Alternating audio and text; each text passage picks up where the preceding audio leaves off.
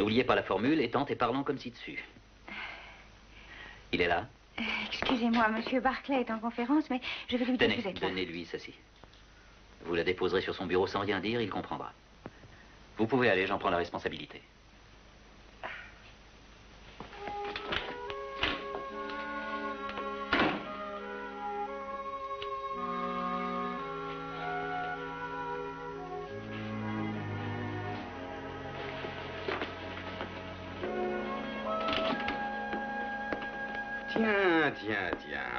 Tu t'es décidé. Tu n'as pas eu trop de mal à trouver l'endroit, j'espère. Non, non, pas du tout. Tu es sûr que ça ne t'a pas fatigué non plus Pas du tout. Tu es de passage, ça va de soi. Mais je n'ai fait que répondre à ton invitation, Jarod. Ouais, toujours la tête aussi près du bonnet, hein Si on parlait un peu de toi, pourquoi ne m'as-tu pas prévenu de ton arrivée? Te prévenir pour rater l'effet de surprise Non, tu n'as vraiment pas changé. Eh bien, si tu me disais quels sont tes projets, es-tu de passage ou est-ce que tu espères rester? Eh bien, si je reste ici, est-ce que je pourrais me faire une place dans ce pays? Dans cette vallée? Mais des hommes tels que toi y ont leur place toute trouvée.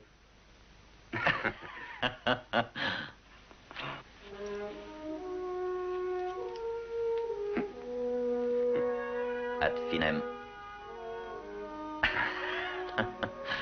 J'ai un travail à finir, j'en ai pour une minute. Je vais te retrouver à l'hôtel et ensuite je t'emmène chez nous et tu y resteras. Ah, mais je ne veux pas. Objection rejetée.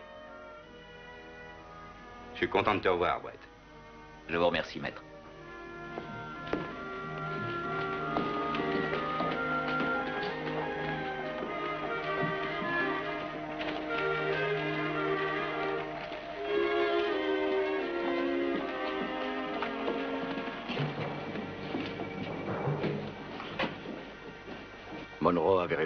C'est Brad Schiller. Allez le prévenir.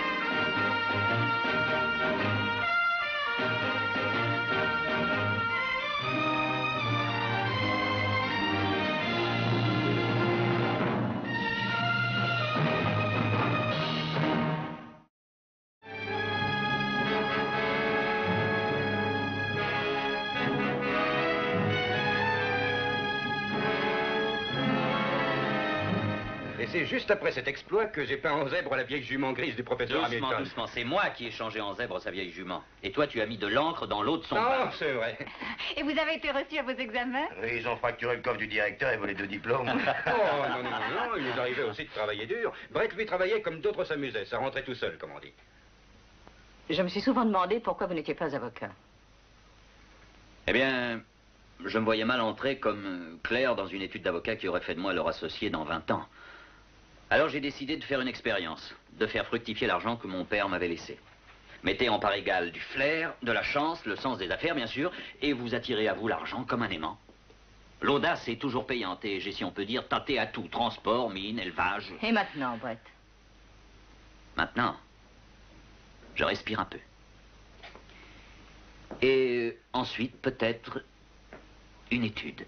Ah, mais ici, dans la vallée. Si tu ne crains pas la concurrence, Jarod. La concurrence, mais je t'enverrai des affaires. Je vais même t'offrir un bureau chez moi, ça te va? C'est plus que de la générosité. Vous vous rendrez très vite compte que la vallée est plus que généreuse. Donnez-lui seulement un peu de vous-même et elle vous le rendra au centuple. C'est vrai ce qu'il te dit, Brett, tu verras. Mais j'y compte bien. Bon, si vous voulez m'excuser, je vais aller défaire mes bagages tout à l'heure. Comme je le lui disais, il est toujours le même. L'étoile naissante est devenue comète. Et les comètes ne s'arrêtent jamais. Ah, je ne sais pas. Celle-ci le pourrait, qui sait.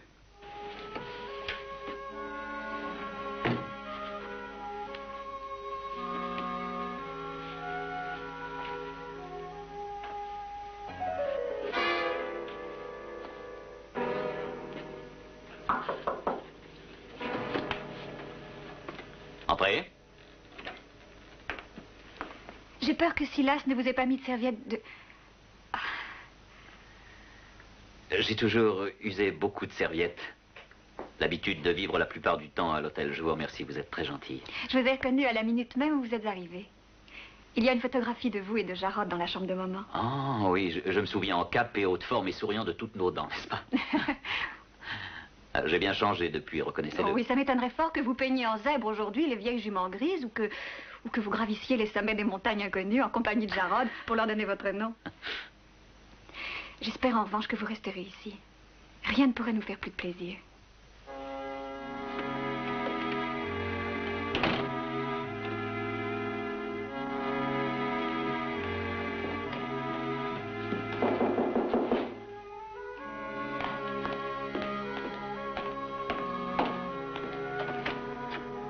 Jarrod Barclay.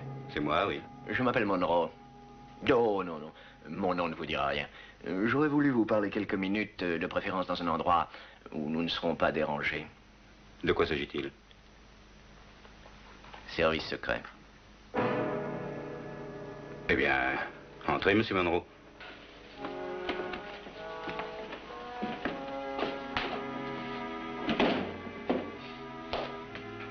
Voulez-vous passer par ici?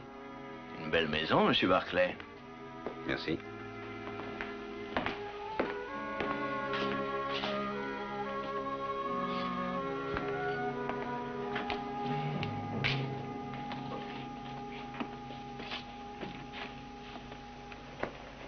Monsieur Barclay, vous avez reçu la visite d'un de vos amis, un nommé Brett Schiller. Non, inutile de confirmer ou de le nier, laissez-moi vous dire ce que j'ai à dire. Il a beaucoup, roulé sa bosse, comme on dit, avant d'arriver ici. Mais je le sais pour la raison que lui et moi suivions la même route, mais sans qu'il le sache. Je ne serais pas un bon limier s'il s'en doutait. Intéressant les déplacements de Monsieur Schiller dans chaque ville où il est passé. Nouvelle-Orléans, Cheyenne, Santa Fe, San Anton. Il a laissé ses cartes de visite. Eh bien, c'est un billet de banque. Oui, il a l'air si bon que seul un expert peut déceler le faux.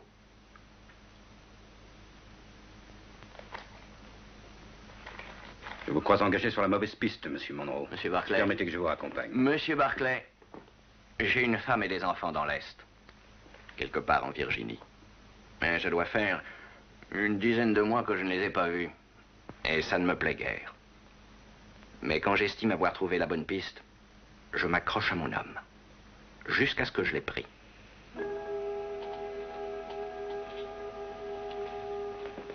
Très bien, monsieur Monroe, j'ai entendu votre thèse, mais ce que j'aimerais avoir, ce sont des preuves. Hélas, je n'en ai aucune. Monsieur Monroe, Brett Schiller et moi avons fait toutes nos études ensemble.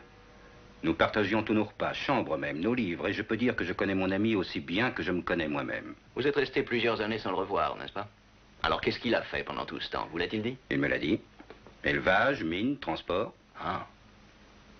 Je n'ai jamais entendu dire qu'il ait demandé une concession ni signé un connaissement. Mais si vous êtes persuadé que c'est moi qui me trompe, vous ne courez aucun risque à m'aider. Et qu'est-ce que vous attendez de moi, monsieur Monroe? Eh bien, voilà, Schiller, sous votre toit, se sent en sécurité et il ne se méfiera pas. Vous pouvez avoir facilement accès à sa chambre. Il a sûrement les faux billets dans sa valise. Je vous. Oui, je sais, je sais. Appelez cela de la trahison si vous voulez. Mais je ne demanderai pas ce service au meilleur ami d'un homme si je ne le jugeais pas nécessaire. Je suis descendu à l'hôtel de Stockton.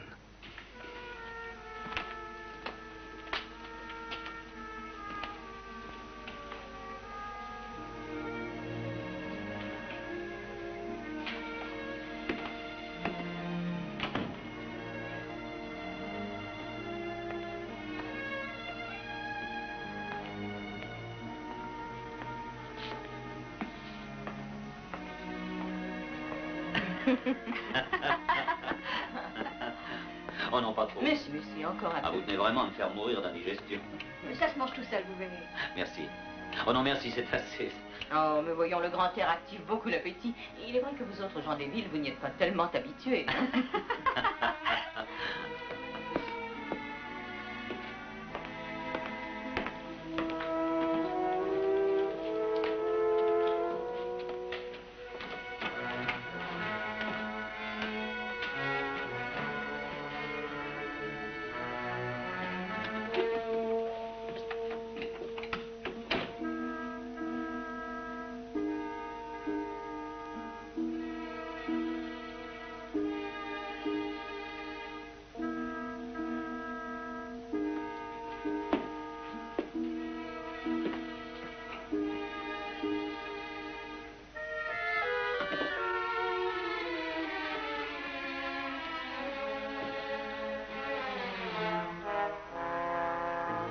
Victoria Barclay, affectueusement Brett Schiller.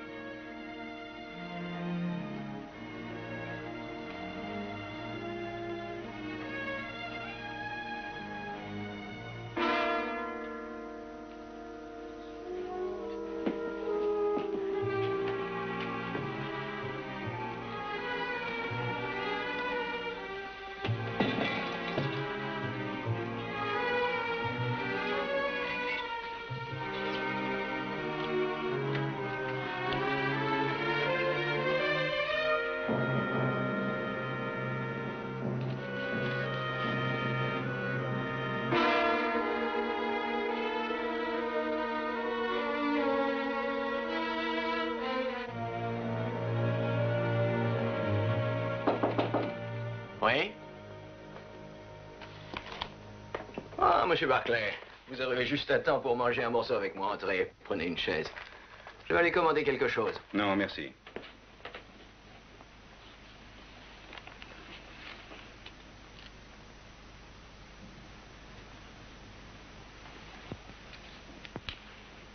Yat, Oui venez voir. Jetez un coup d'œil là-dessus.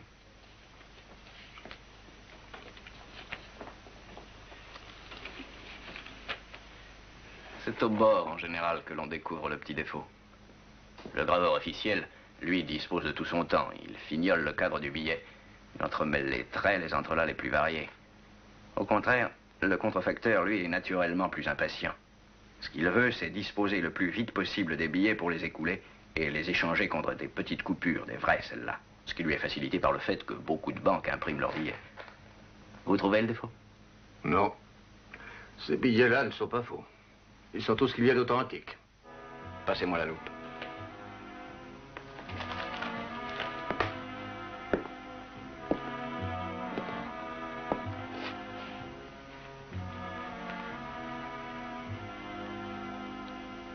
Ah, ben. Il est plus malin que je l'aurais cru. À moins que vous soyez, disons, anxieux de découvrir un suspect, mon nom. Maintenant, avec tout le respect que je dois au service secret, je vous prierai de bien vouloir aller porter vos soupçons ailleurs que dans la vallée. Monsieur Barclay, je n'ai pas changé d'avis au sujet de votre ami. Je continuerai à le suivre jusqu'à ce que...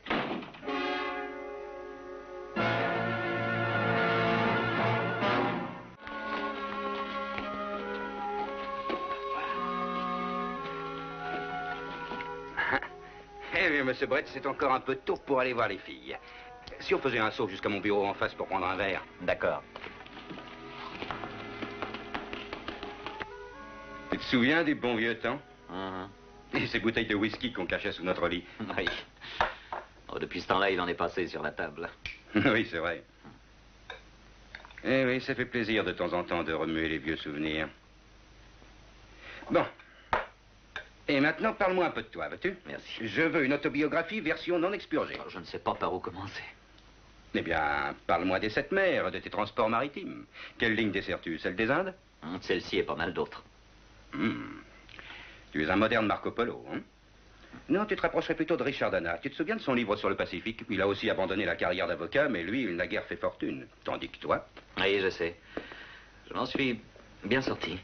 Ah, tiens, il me semble te voir d'ici, avec ta longue vue devant l'œil, en train d'observer tes navires rentrant au port, les flancs gonflés de richesses de l'Orient. Comment s'appellent tes navires? Oh, J'en suis que l'armateur. J'ai le Lotus, le Condor, Hmm, Un des trois mâts vapeur. Tu as raison, c'est beaucoup plus rapide, plus rentable. Et par quoi tu t'es marré Par l'élevage, les mines? Par l'un ou l'autre, comment veux-tu que je me rappelle? Bon, allons, Brett, fais un effort de mémoire, mon vieux. L'élevage, il me semble. Ah oui, en quelle année? Où veux-tu en venir? C'est un interrogatoire en règle. Hum. C'est vrai, ça avait tout l'air d'un interrogatoire. Ah, à propos, j'ai avec moi pas mal d'argent. Est-ce que je pourrais le déposer quelque part? T'accompagnerai à la banque demain. Merci. J'aime mieux ça que de le garder dans le double fond de ma valise.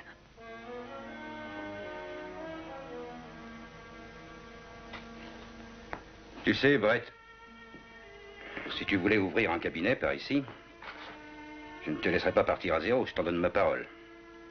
Je peux même t'assurer que j'aimerais assez t'avoir avec moi. Écoute, Jarod. Non, non, réfléchis-y. Promis.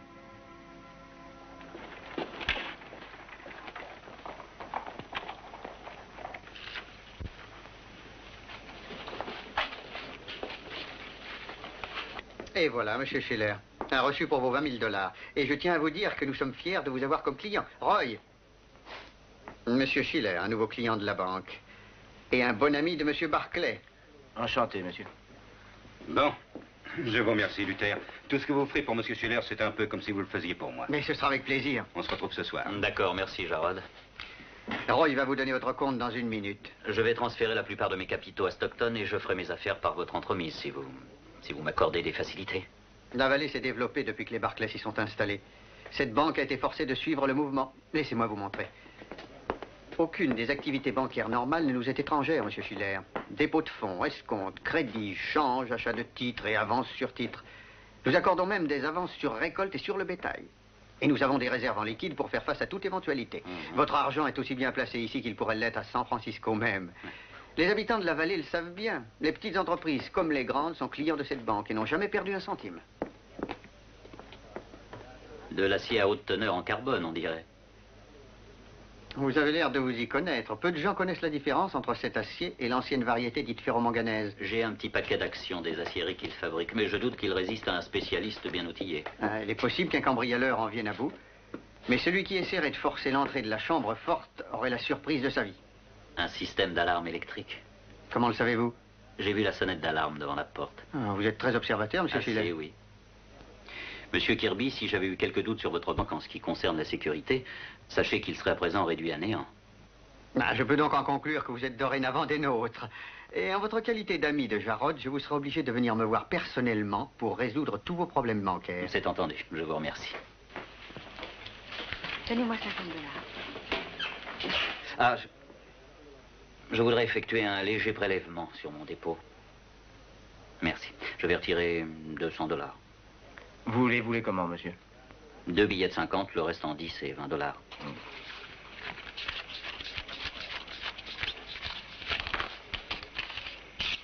Voilà. Merci. C'est moi qui vous remercie, monsieur Schiller.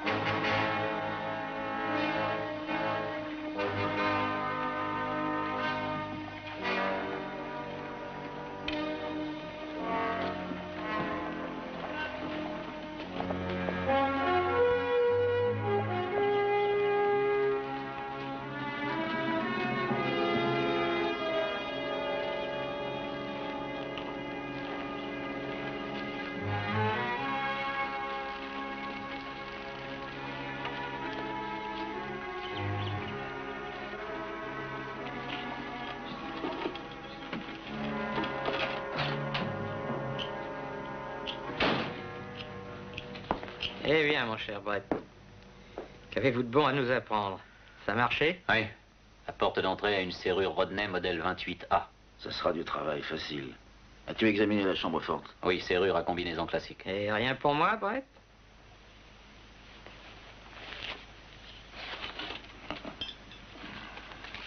Ah, très joli ces billets. D'autant plus facile à imiter. hein? Ils n'ont rien d'original. Hmm. Votre banquier n'aime pas se compliquer l'existence. Oui, il imprime ses billets avec une stéréotype. C'est beaucoup moins coûteux que de faire graver des planches. Il préfère dépenser son argent à autre chose. Un système d'alarme électrique, par exemple. Oh, Ce qui complique le problème. allons, pour vous et pour Ketchy, il n'y a jamais eu de problème, voyons.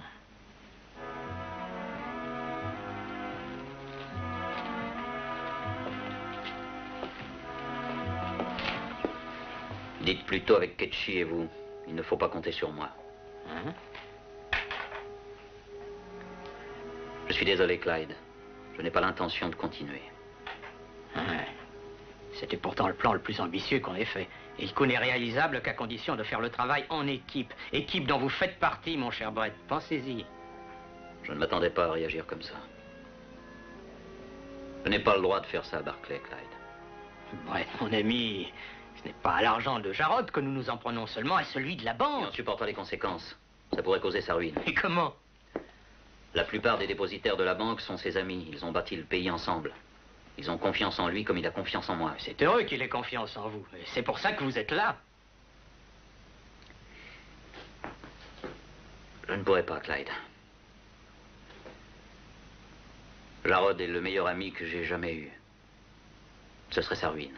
Oh, tu entends ça, Ketchi Ce brave jeune homme de si bonne famille, hein, qui a délicatement répandu un lot de fausses actions minières, merveilleusement imitées, dans les milieux de la bonne société de Philadelphie, se voit soudain devenu la proie d'un beau sentiment, l'amitié. Il m'a offert de me prendre avec lui dans son étude. Pour faire quoi? Lui servir de garçon de course ou de gratte-papier hein? Au mieux de troisième ou quatrième clerc À quoi d'autre, s'il vous plaît, pourrait-il employer un ex-étudiant en droit sans expérience Jarod ne me traiterait pas comme ça. Comment croyez-vous que les hommes comme lui s'enrichissent En distribuant généreusement leurs faveurs à droite et à gauche C'est celui qui plante ses dents, qui s'accroche solidement à qui sait exploiter les autres, qui arrive. Votre ami Barclay est de cette race-là. Et c'est pour ça qu'il vous a offert de travailler avec lui. Pour presser le citron, comme on dit. Et quand il ne restera plus une goutte de jus, il jettera l'écorce.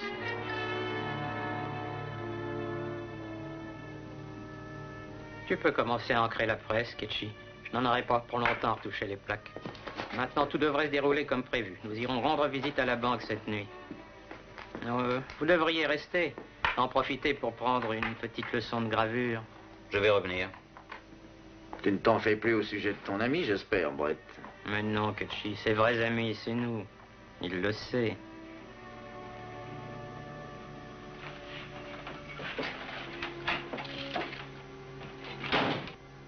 Oh, Brett. Oh, du parfum français. Hum, merci. Je suis heureux que cela vous plaise. Je n'en étais pas sûr. Vous savez vraiment ce qui peut plaire à une femme Euh, à propos, Brett, as-tu réfléchi à ma proposition? Oui, Jarod, j'y ai pensé. Je n'ai même fait que ça, je peux le dire. Euh, Seulement, je crains de ne pas en avoir bien compris le sens. Eh bien, je te propose de te prendre chez moi comme assistant. Ça te permettra d'acquérir l'expérience qui te manque. Recherche de jurisprudence, rédaction d'exploits, études préparatoires des dossiers, etc. oui, dans les grandes lignes, c'est à peu près ça. Pendant que toi, tu t'occuperas des affaires importantes. Au début, c'est exact. Ça me paraît honnête, non? On sait même plus connaître, Jarod.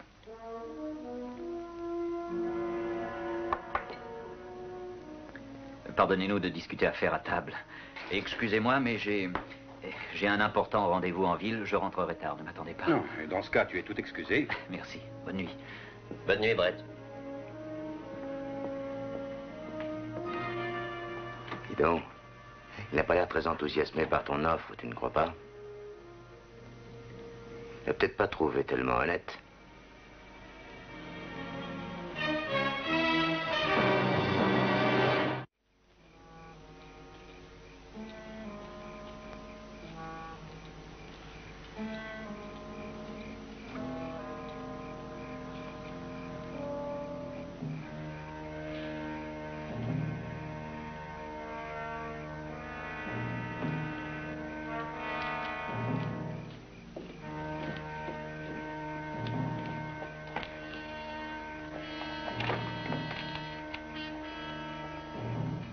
Dépêche.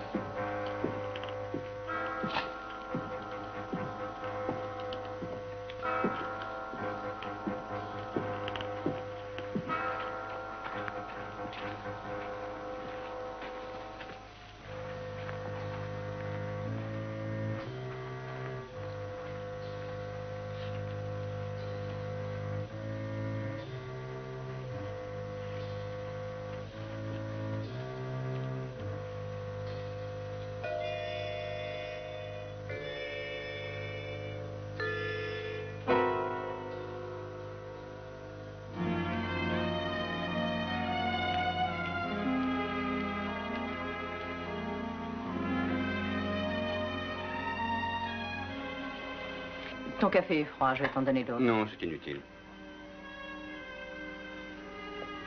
Qu'est-ce qu'il y a, Gérard On ne peut rien vous cacher.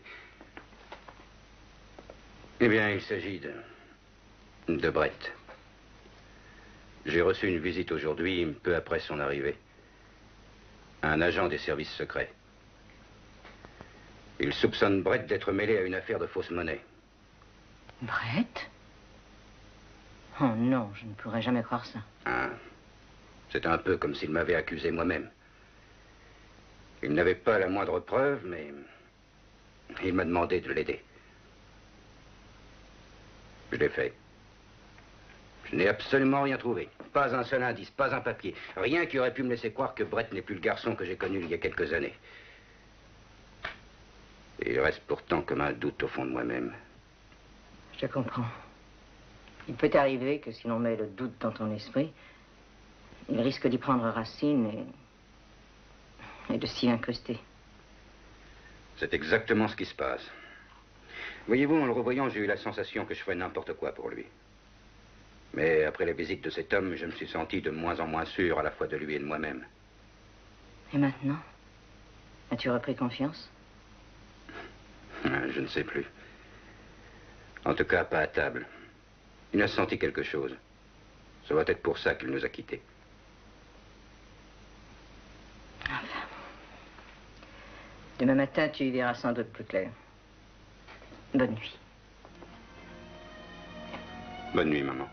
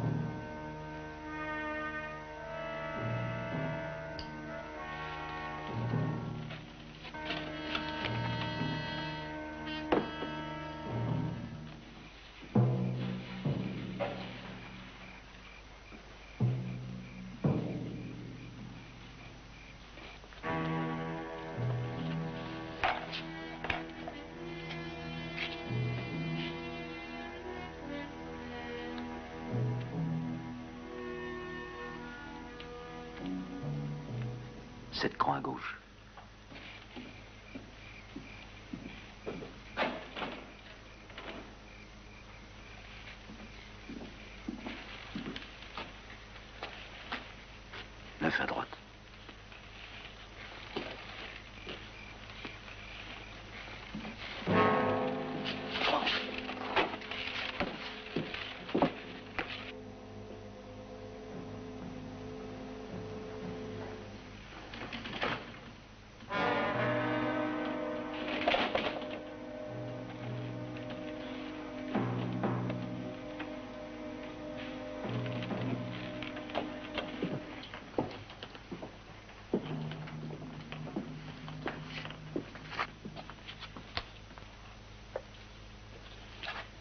Les deux derniers, s'il te plaît. 9 à droite. 7 à gauche.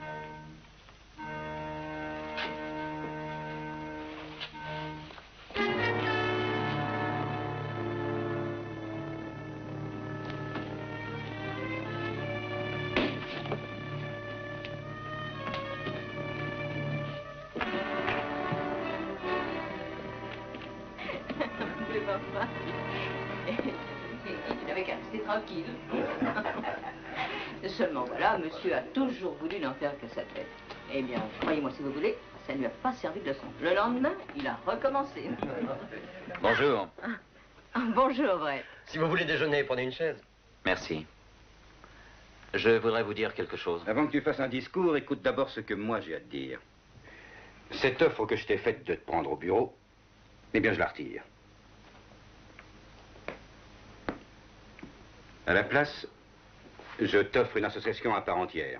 Tu ne me seras probablement pas dans le grand appoint la première année, mais sachant ce que tu vaux, je ne peux décemment pas t'offrir moins. Je veux t'avoir avec moi, Brett, et le plus tôt sera le mieux. Tu ne peux pas refuser. Brett, ne croyez pas qu'il dise ça pour vous faire plaisir. Ça fait des mois et des mois qu'il cherche un homme de valeur. Et c'est merveilleux de voir se réaliser ce qui a été au fond le rêve de votre vie. Bon, voilà une affaire réglée. À toi la parole.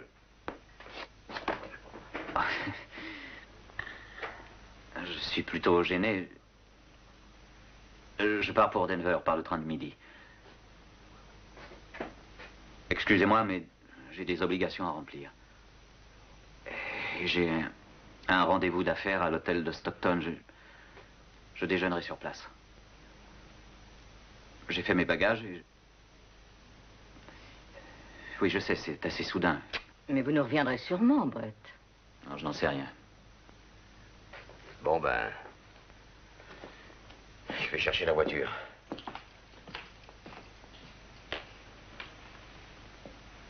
Brett, si tu reviens, mon offre tient toujours.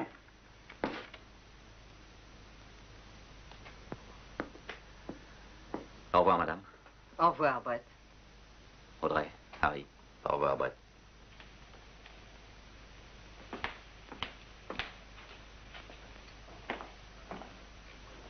Tenez, attrapez ça.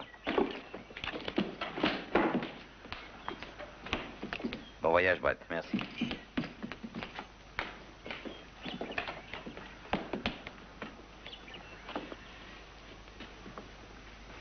Je suis désolé, Jarod. Moi aussi, Brett. Mais après tout, c'est ton affaire.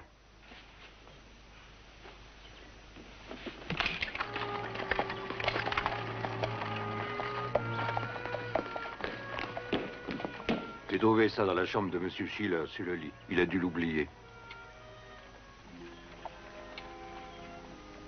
Merci, Silas.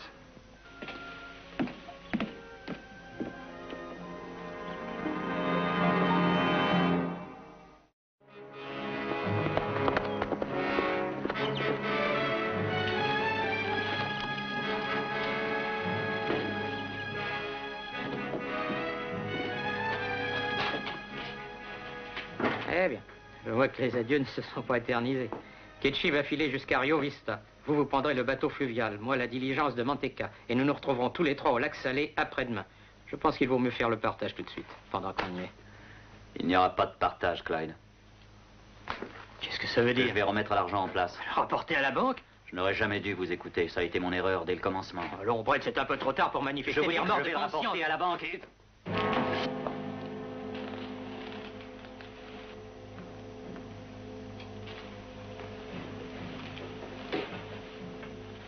Ligote-le. Tu es sourd? Idiot, Brett. Un lamentable idiot.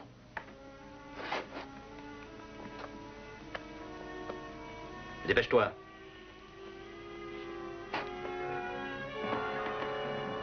Mets-toi ici. Les mains derrière le dos. À travers les barreaux. Tu me dis pas ça sérieusement. Tu veux pas aller remettre l'argent à la banque? Tu es fou, Brett. Oui, il faut être fou pour faire une chose pareille. J'aimerais presque mieux que, que tu gardes tout pour toi tout seul. Enfin, j'ai dit presque.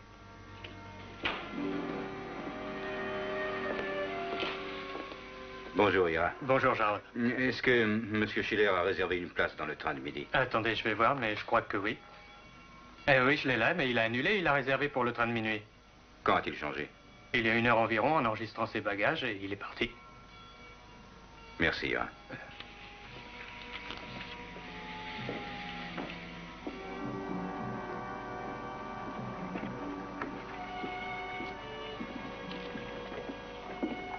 Ah, monsieur Barclay.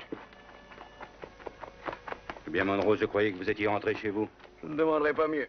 Ça voudrait dire que ma mission est enfin terminée. J'ai entendu dire que votre ami avait déposé en face un gros paquet de dollars. C'est exact. Tout le contenu de la valise, je présume. Et je pense que la banque vous l'a laissé examiner. Bien sûr, bien sûr, tout était parfaitement en règle. C'est ce qui m'intrigue. La méthode employée d'habitude par le contrefacteur consiste à déposer des billets contrefaits et à effectuer ensuite des retraits que la banque lui verse en bon argent. C'est ce qui me donne à penser que M. Schiller a un plan beaucoup plus habile. Il va de soi que je ne peux rien entreprendre avant que la fausse monnaie ait commencé à circuler en ville. Mais j'ai comme l'impression qu'il va se passer quelque chose à la banque.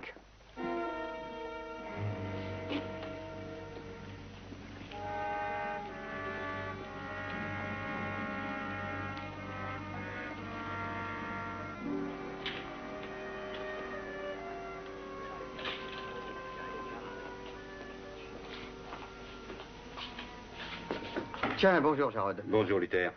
Est-ce que Brett Schiller est venu aujourd'hui? Pas encore que je sache.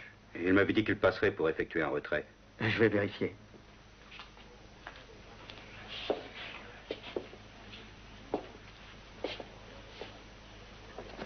Non. Il n'est pas venu aujourd'hui. Son solde est inchangé. Ni dépôt, ni retrait depuis le premier jour. Excepté les 200 dollars qu'il a tirés quand il est venu avec vous. Mais je m'attends à faire des affaires intéressantes avec M. Schiller. Et grâce à vous.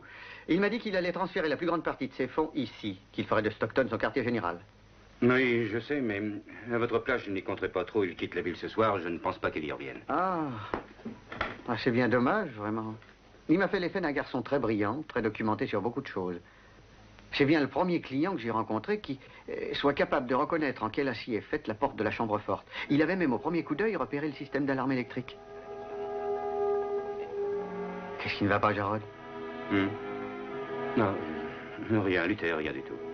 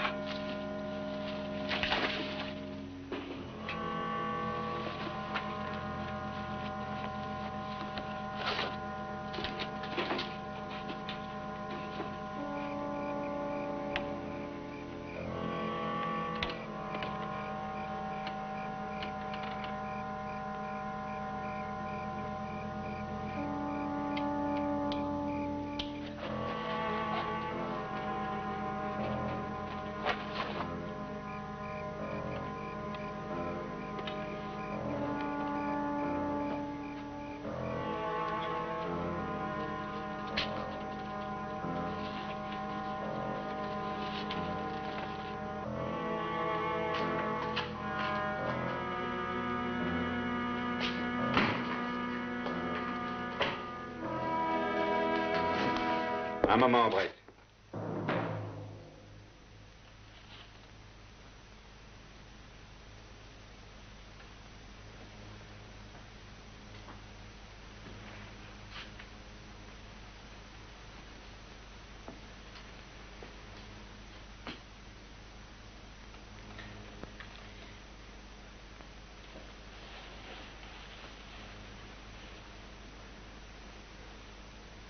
Tu as oublié ça.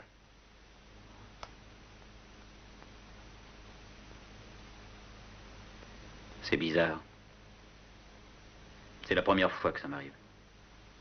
Donne-moi ton arme. Jarod, laisse-moi t'expliquer. Mais il n'y a rien à expliquer. Donne-moi ton arme. Les mains en l'air, tous les deux. Désarme-les, Ketchi. Et reprends l'argent. Eh ben, c'est ce qui s'appelle arriver à temps, hein Ce serait pas votre ami Barclay, par hasard? Attache-les solidement, Ketchi. Les mains derrière le dos, et vite.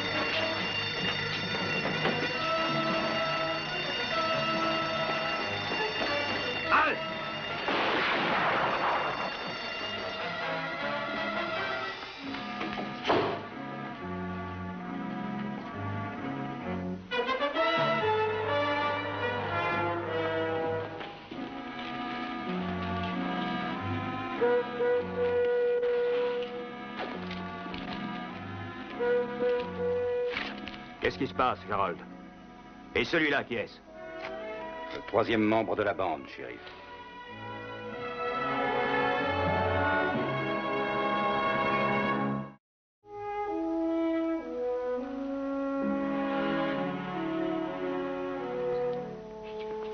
J'ai déjà entendu pas mal d'histoires invraisemblables dans ma vie, mais celle-là les bat toutes.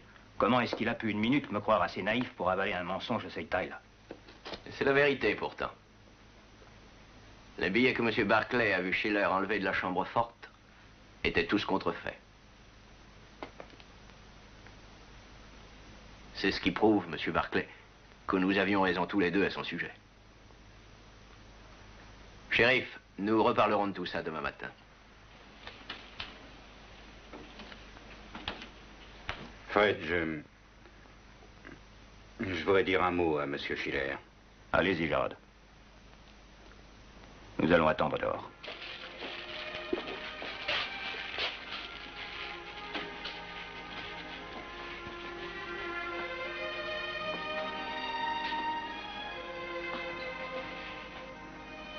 Tu auras besoin d'un avocat.